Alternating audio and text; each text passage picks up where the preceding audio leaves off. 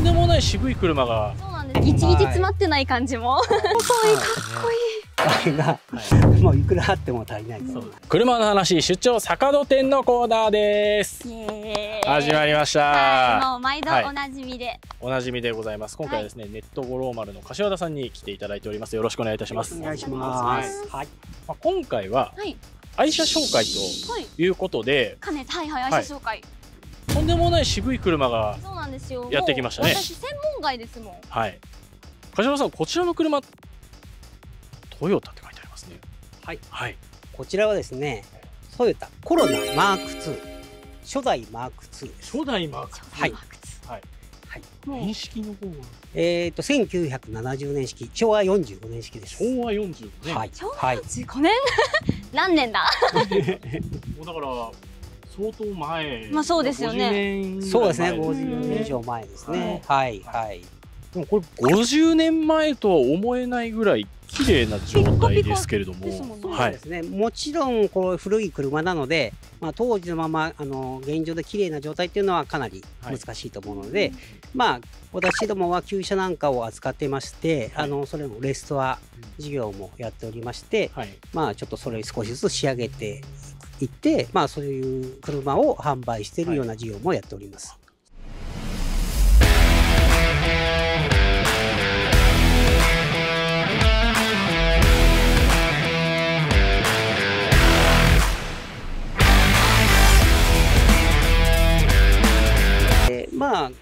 ですと例えば箱スカですとか、まあフェリー Z とかい。ろいろありますけれども、まあこちらのコロナマークス GSS っていうのはちょっとマイナーな車、はい。まあ、悪い言い方をするとちょっと人気があんまりないような車で、まあそれでも GSS っていうグレードでまあ今でいうマーク2のツアラ V のいい元祖はい。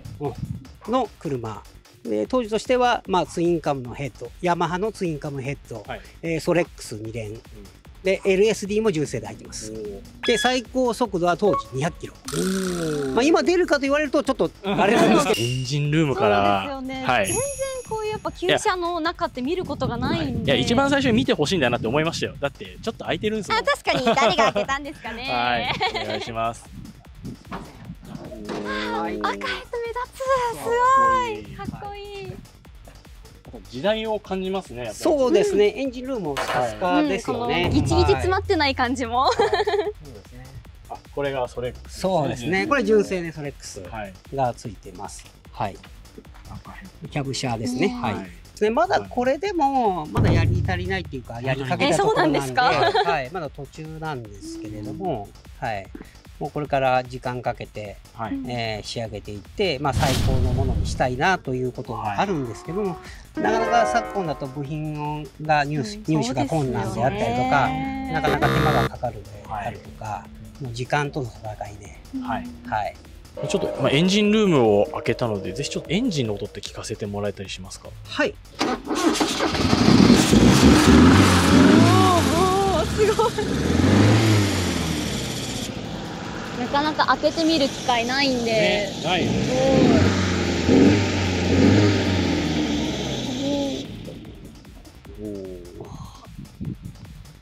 んな感じで、まあ、キャブ車なんでやっぱセッティングとかも、はい。はい。うん。はいまあ、いろいろと。電気系とかいろんなことをもう少しずつあの手を加えてって、まあ、仕上げていくっていうのがこういう旧車なんかの、うん、まあまあ遊びというかね楽しみの一つ楽しみあそうですよね。い。ろいろ知って。て。まあ東方の方でもそういうことやりますしお客様の方でも、はい。まあ、ベースに仕上げていただく、うん。うん。まあ、そういう感じで、まあ、楽しみながら、まあ、販売ししながらみたいな感じで、ははい。いこれまた内装がありますよね。これもレストアされていらっしゃいますそうですね。ちょっと内装なんかも少し、まあ、張り替えたりとか、まあ、まだちょっとあれなところもあるんですけど、こういうバックスキンをお張りお替えたりとうかまあ。シートなんかもちょっと張り替えた部分はあるんですけども、まあそれでもこれでもどうだろう。6割とか7割ぐらい。はい、でもやっぱりこういうのにこだわる方っていうのはもういくらお金かけてももう綺麗にしてくれって言われるお客さんもいらっしゃってよね。もう時間とお金がはい。もういくらあっても足りないと。ね。終わりないですもんね。終わりがないので、はい、まあどこまで逆にはい。ね、うん妥協できるかっていうのうん。も、はい、ねこういう車を持つ上では、はい。あのあれじゃないかなと思いますけど、はい、これやっぱり時代を感じますね。メータメー類がー類すごいとか本当にアナログですよね、アナログ。のこういうハンドルだったり細かったりとか、このハンドルのデザインめっちゃいいですよねこの細いはいかっこいい、まあ、当然当時の車なんでパワーステはないですけれども、うん。まあ走ればねそれなりに、まあそうですね。動いてるまあ時そんなに、止まって動いたうんあれですけど。まあ、駐車とかはねちょっとうん大変なのがちょっと重いかなっていうのがあるかもしれないですけど、はいまあでもそれはそれでね好きだから全然苦じゃないですもんね、それも良さだしはい。まあ、あとはですね、まあ、うん古い車好きな人っていうのは、やっぱこういうのをガレージに置いたりとか、はい自分の趣味でお持つっていうのも、うんまあ、楽しみ方の一つというか、はいねはいも持つ喜びっていうんですかね。うんそうですよねはい。そういうのなんかもありますね。はい。またこのエンブレムが。かっこいいですよね。生き抜いてきた感じがすごくして、そうですね。ははい。い。マフラー細いですね。あ細い確かに。すごいですね。今気になりました、はいはい。確かに。ねそこのうん。太鼓の部分太鼓も小さい。すごい小さいこうそんなちっちゃい。すごい。当然、当時も排ガスがそんなに厳しい時代ではないので、はい。まあ今で言うともうそのカーボンニュートラルとか言うとね、う怒られそうな車なんですけど、はい、当時はもうこういうのが。うん。いうのも当時仕様なんですかもう。あ、そうです。これでもうほぼほぼはい。当時の仕様ですね。はい。そのままで。はい。はい。そうですよね。ホイールとかも小さめで。はいということでやっぱり旧車いいですね。いいですね。やっぱにイはいベントとかもやってますけど人気ですしうねん。なかなかでもこれ実際見えてねこうはい聞く機会もなかったんで、うん。私やっぱ勉強になりました。旧車もいいですね。なんかもう絵画みたいな感じでそうですね。もうなんかねなんだろうこう芸術品の、私なんか特にやっぱもう生まれた時からこういう車見ることが本当走ってなかったんで、うん。貴重ですよ。はい、まあ旧車のイベントなんかでもこのマーク 2GSS っていうのはまあほとんどないんじゃないかなと思います。はい。旧車の中でもちょっとあの珍しい。レアだ、はい。レアなお車なんはいで。はい。ありがとうございます。なのでぜひそのネット五郎丸さんのですね、はい。その旧車需要の方もぜひ皆さん注目していただけたらと思います。今回はコロナマーク2ご紹介させていただきました。ありがとうございました。ありがとうございました。中古車買取本舗車買取専門店。高価査定はプロにお任せ。お手軽スマホ査定なら最短5分。中古車買取本舗で検索。車のことならアヘッド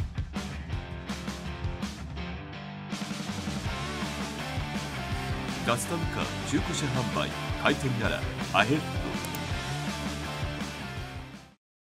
ドお知らせがあります。お知らせですか？はい。はいこの度アヘッドモーターサービスでは一緒に働く、一緒に戦ってくれる仲間を募集しています。なんと我々、はいあの去年からまあラリーを始めていろいろなモータースポーツに参戦してるじゃないですか。はいまあそのモータースポーツ参戦経験を通してまあお客様に対してまあチューニングであったりだとか一般の車両の販売とかアフターサポートを行っている中でまあ一緒にぜひ働いてみませんか？働いてみませんか？普段のアヘッドモーターサービスっていうのはひろきさんどんなところが一番魅力的ですか？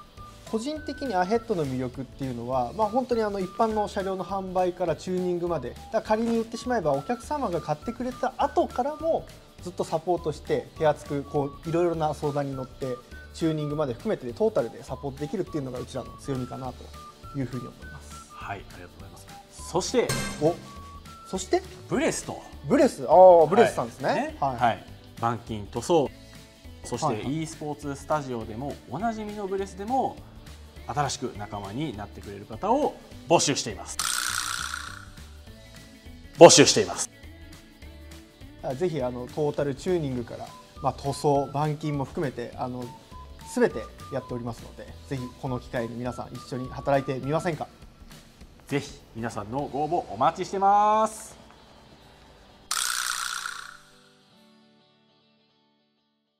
車の話番組 YouTube では未公開映像や特別映像を公開しています。チャンネル登録お願いします